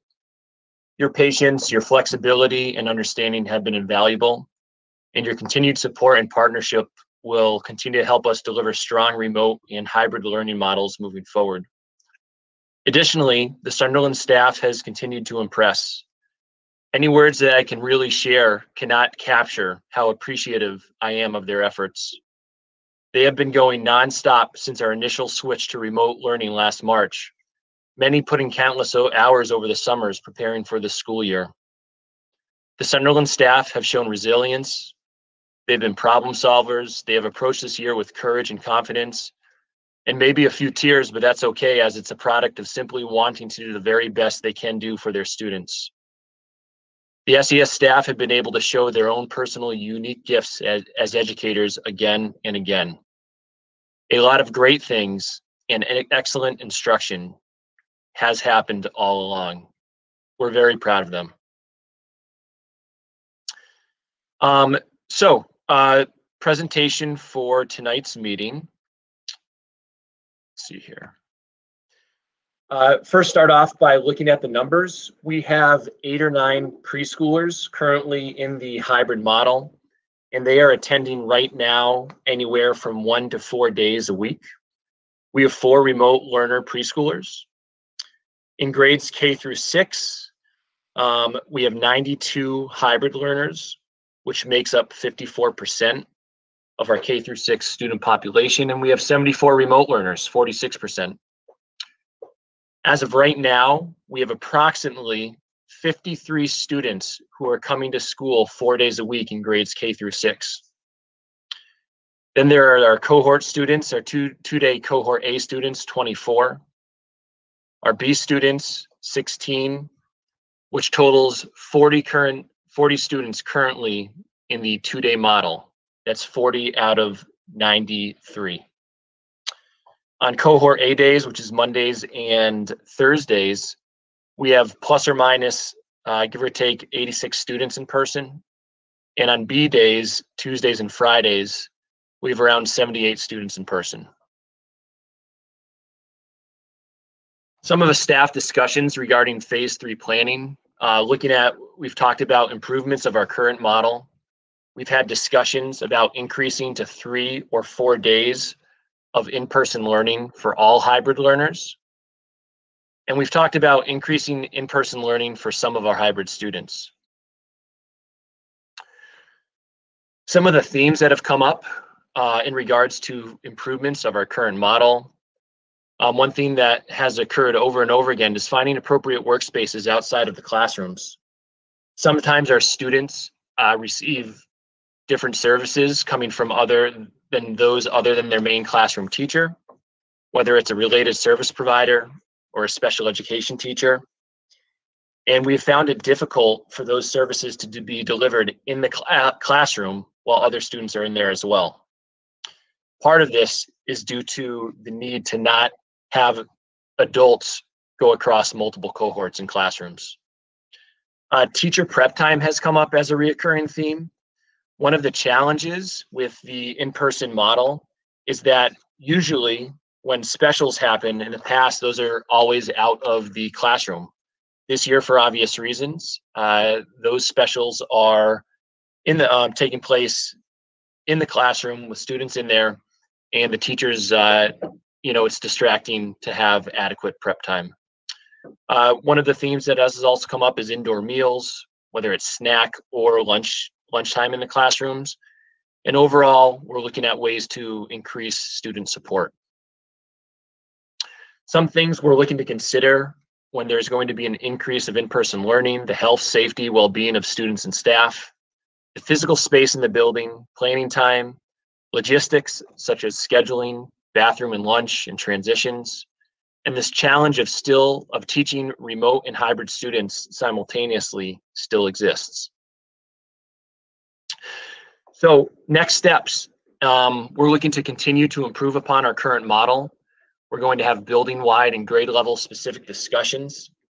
Some changes might include restructuring of classes to create in-person and remote classrooms, lunch outside of the classroom in the cafeteria, tweaking of schedules, and re-examining usage of building space. I have a note there that depending on the number of hybrid and remote students at each grade level, changing classroom rosters around might not be possible. It really is different from one grade to the next, where some some grade levels it's an, it could be an easy switch, and others it probably um, would not work. And that's why the grade level specific discussions are happening. Next steps. Um, so I, I just had talked about looking to uh, continue to improve our current model and then also increasing in-person learning for some of our hybrid students. And I have some there bolded. Um, at the beginning of the year, we mentioned when we were talking initially about our internet cafe, we were talking about our students who really needed that in-person instruction and needed to be here four days to make progress and experience success. I emphasized that at the time, this couldn't be for all students, given the nature of where things are at. And unfortunately, I know this might be a disappointment, a disappointment to some families, but that's um, that's still where we're at at this time. We're going to be having grade level specific discussions, uh, looking specifically at students who might be struggling academic, academically and or socially. And if we are going to continue to increase, um, excuse me, if we are going to look to increase some of our students, our two day a week students right now, we're looking to have that transition happen towards the the end of January with no set date right now at this time. With that being said, you know, if if families um, are experiencing um, difficulties at home with the social emotional well-being of their student, they need to please reach out to our teaching team. You know, we we're ready and able to help at any point. Um, so I, I really want to emphasize and, and drive that point home that families do need to be in communication with us if anything is coming up.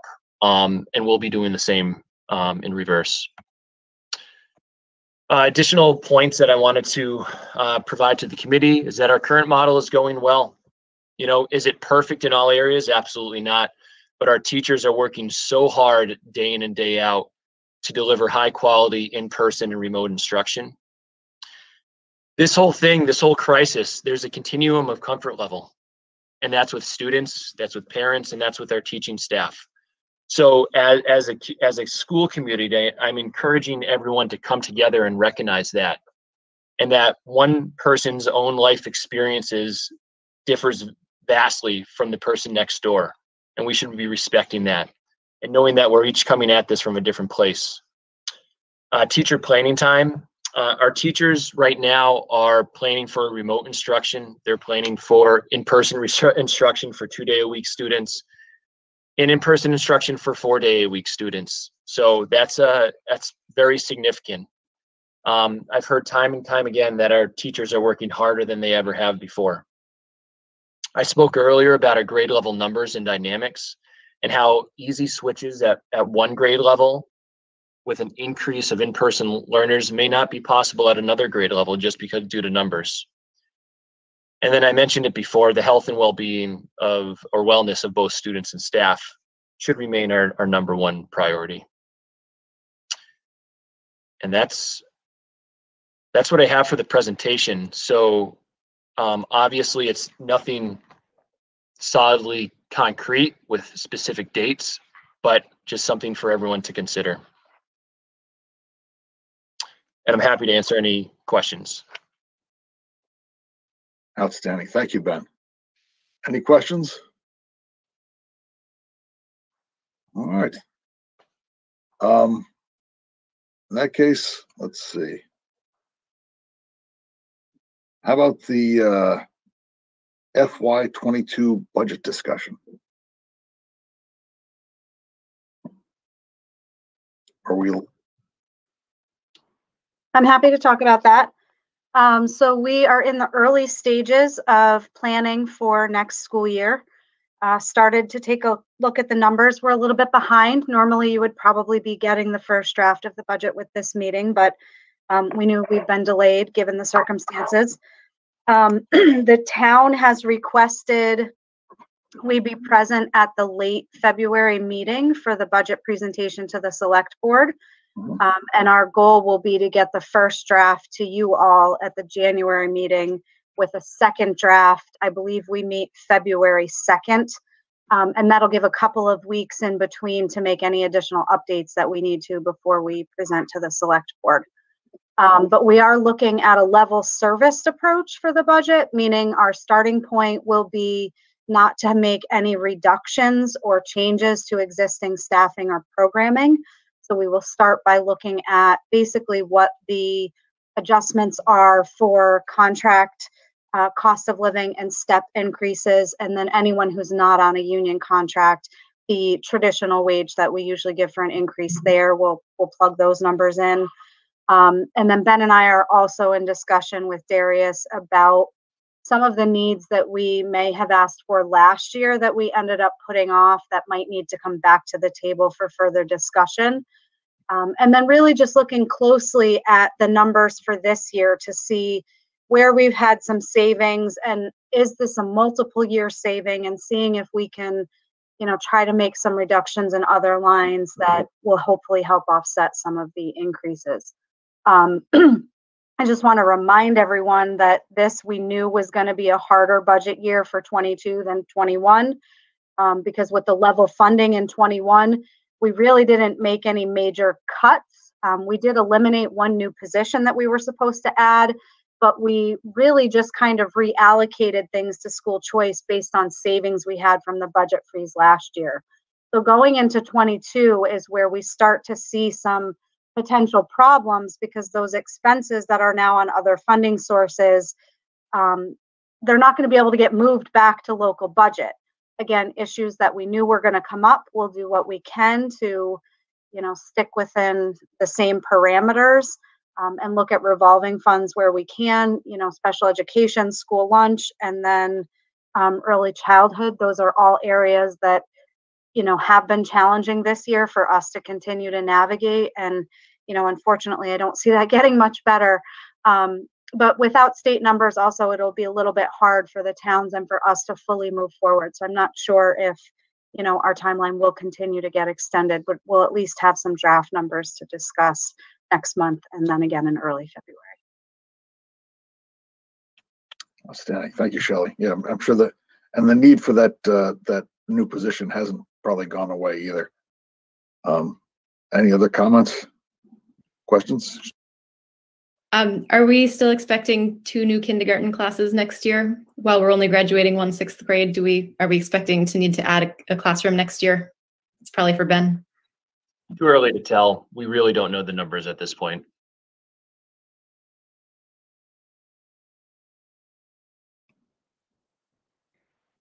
Anyone else? Actually, to follow up, Ben, when will we know those numbers? We send out the registration forms in beginning of January. And part of that process is our early childhood director reaching out to local preschools and seeing how many students are actually on the on the radar.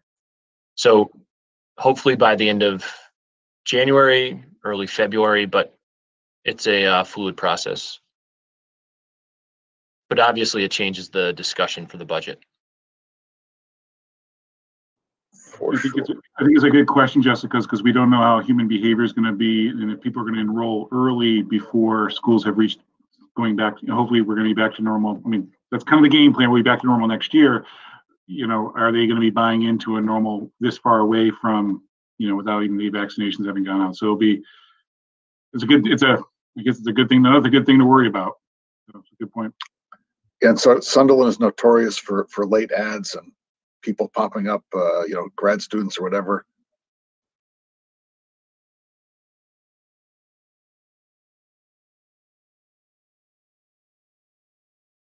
In that case, uh, if we're all set, uh, onto capital, the capital budget.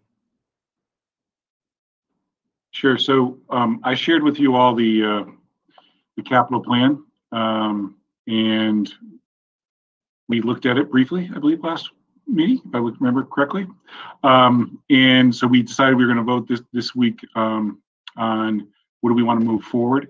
I did have a conversation with um, the uh, town administrator um, and kind of gave him a general overview.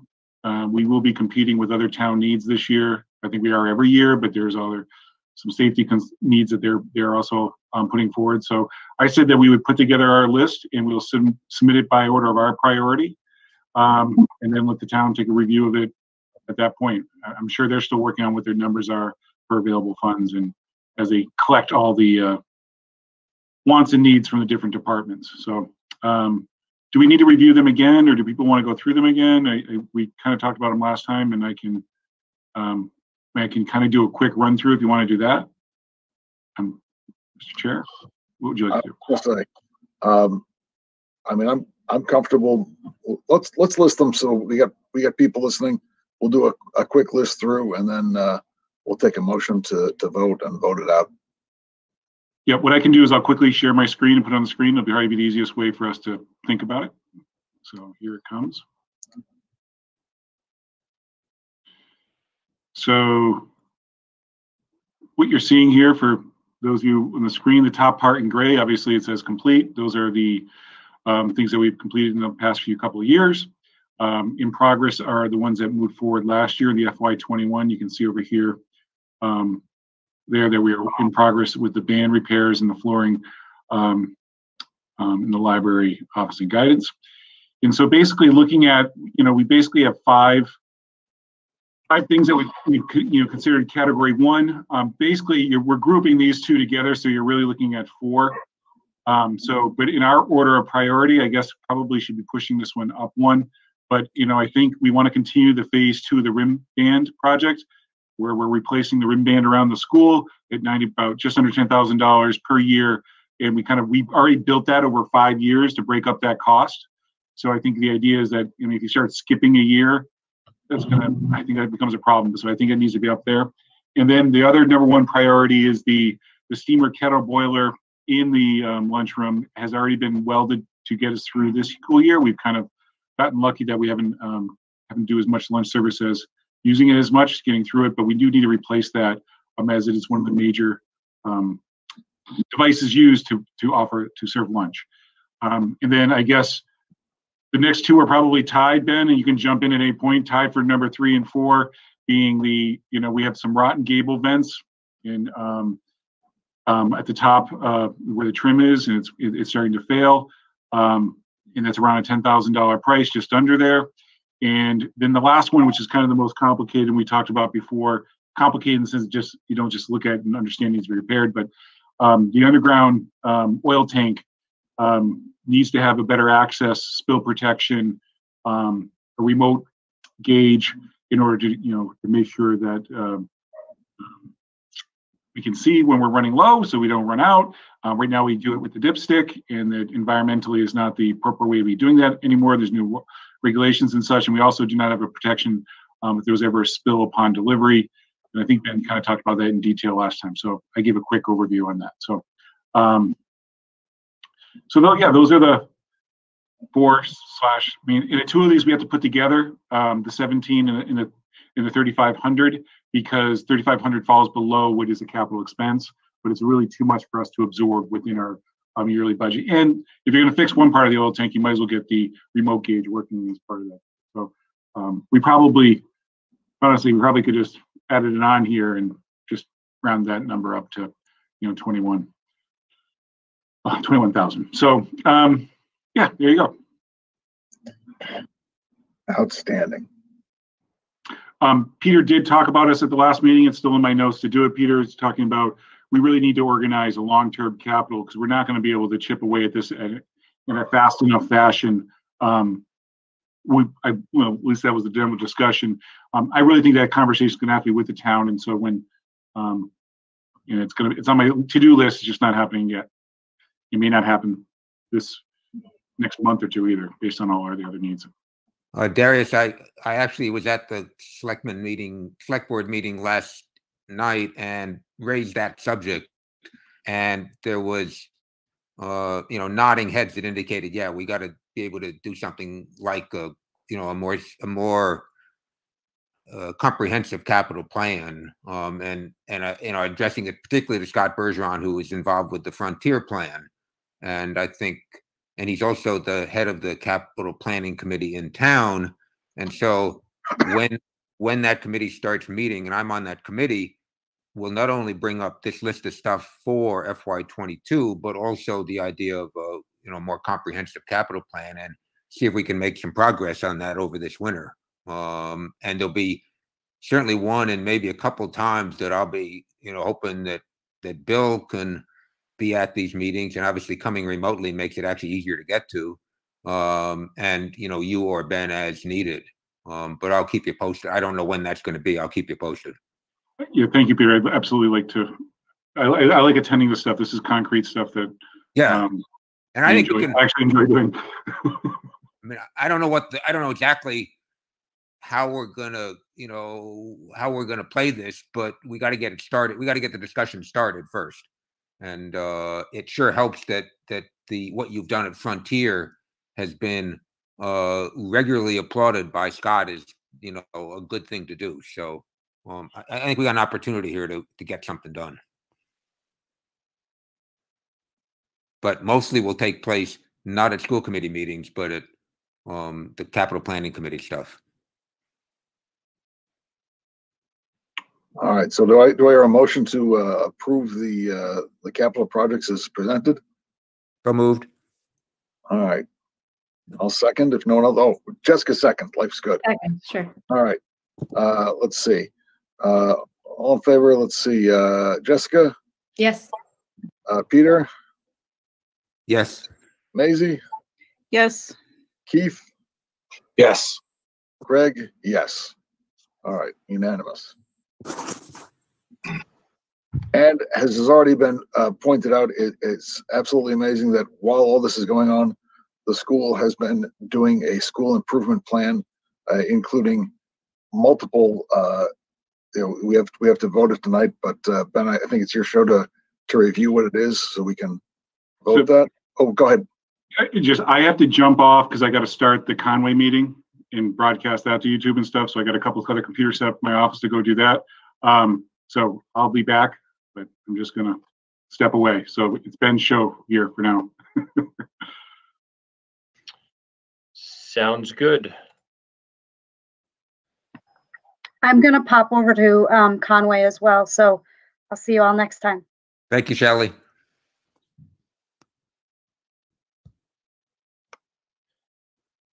So the uh, Sunderland Elementary School School Improvement Plan, uh, goal number one, remote learning access and technology. Implement highly effective teaching practices and strategies which can be delivered both synchronously and asynchronously to ensure students' access and engagement across all grade levels and student profiles.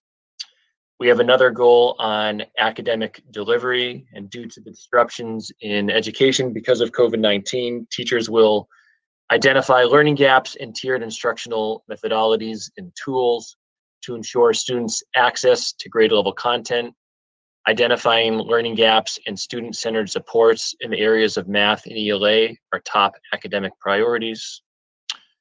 Social emotional learning and health, prioritize social emotional learning, wellness, and health across all grade levels for both students and staff. Anti-racism and equity, prioritize initiatives and practices that continuously identify, describe, and dismantle systemic racism and oppression embedded within our schools and communities. And then as always, we have our wonderful early childhood playground project where we're partnering with local businesses, community members, and town committees to renovate the early childhood playground. And under each of these goals, there are um, different action steps and um, tasks for completion. I just wanted to present something that was a little bit more user friendly. Any questions?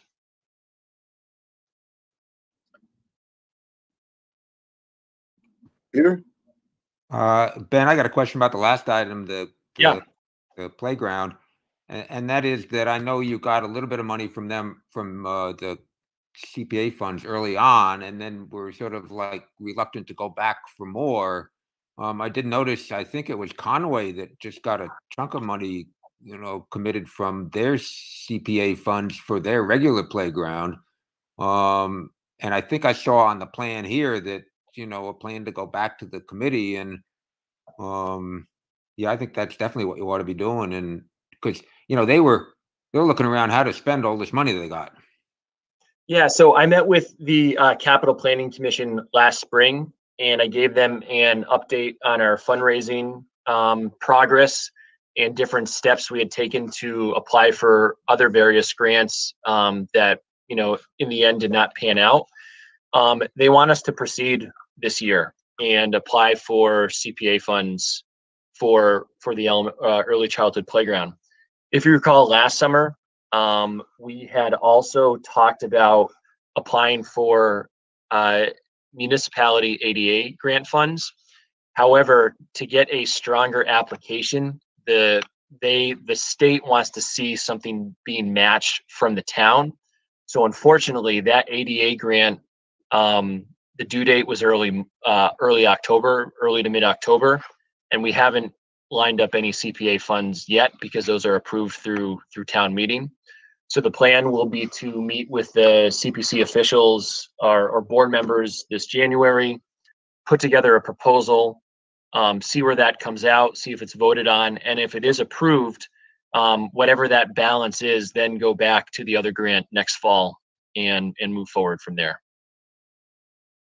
Okay. If you want someone to, you know, ride shotgun for you with that CPC money, CPC meeting, I'd be glad to, you know, go along too.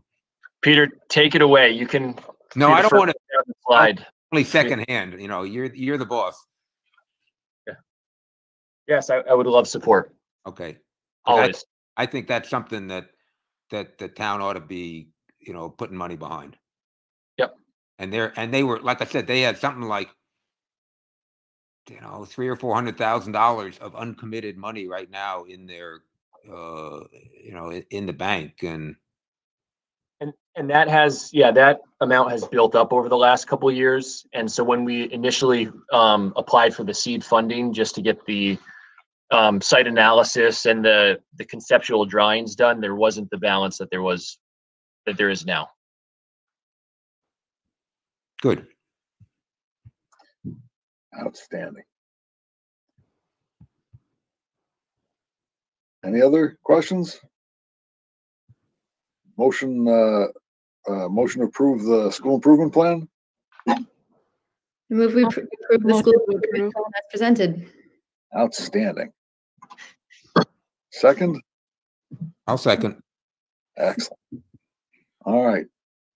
Keith, Yes. Maisie, Yes. Jessica, Yes. Peter, Yes. Greg, yes. All right, unanimous again.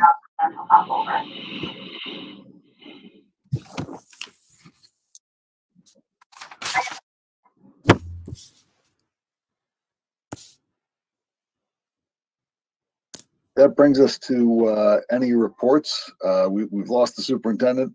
Uh, Ben, do you have a, uh, or, oh, oh, he's back. I don't have a report though. Okay. Understood. Is that is that me? Yes.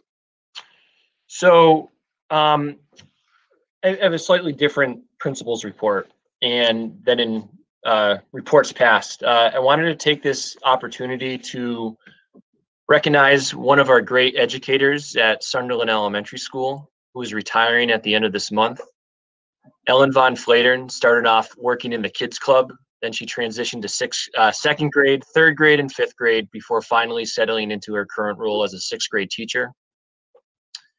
Mrs. V has served on the SES School Council, has been a grade level leader in her district, and was the recipient of the Grinspoon Excellence in Teaching Award. She has many incredible attributes that have allowed her to experience success. Her friendly, outgoing personality has helped to create a strong sense of community amongst her teaching colleagues and her students. She has a great sense of humor. She's very smart and organized, and she has superb classroom management skills.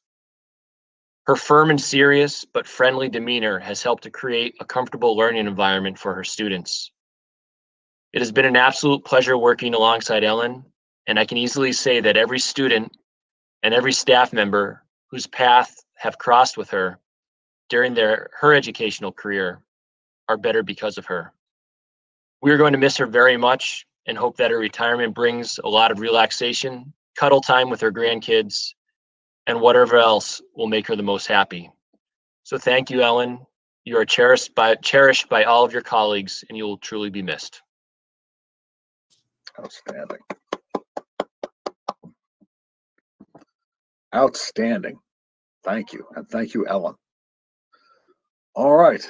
Um, I don't see any, any need to do the executive session. So unless anyone has anything else, I'll, uh, we'll take a motion to uh, adjourn. What the heck, I'll move it. Can we get a second? Second. Second, Jessica seconds. All right. So let's see. Uh, Maisie, Yes.